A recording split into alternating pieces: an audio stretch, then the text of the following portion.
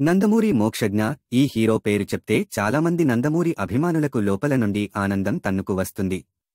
అలాంటి మోక్షజ్ఞ సినిమాల్లోకి ఎంట్రీ ఎప్పుడు ఉంటుందా అని చాలామంది ఆతృతగా ఎదురుచూస్తున్నారు.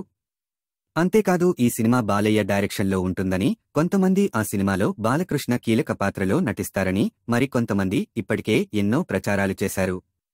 అంతేకాదు ఆదిత్య మూడు వందల అరవై తొమ్మిదికి సీక్వెల్గా ఆదిత్య తొమ్మిది వందల తొంభై తొమ్మిది సినిమాలో మోక్షజ్ఞ నటిస్తారని ఇలా ఎన్నో వార్తలు సోషల్ మీడియాలో చక్కర్లు కొడుతున్నప్పటికీ ఆయన మాత్రం సినీ ఇండస్ట్రీలో అడుగు ఎప్పుడు పెడతారో తెలియడం లేదు.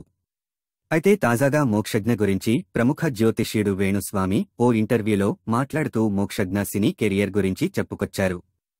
వేణుస్వామి మాట్లాడుతూ మోక్షజ్ఞ సినీ ఎంట్రీ లేట్ ఆలస్యంగా ఉంటుంది కావచ్చు. కానీ ఆయన ఇండస్ట్రీకి రావడం పక్కా.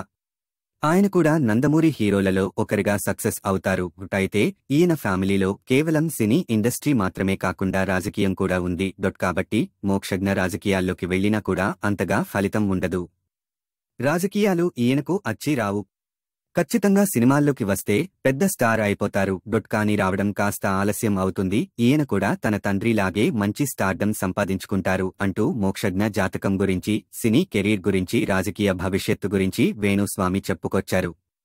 ప్రస్తుతం మోక్షజ్ఞ గురించి వేణుస్వామి చెప్పిన మాటలు సోషల్ మీడియాలో వైరల్గా మారాయి.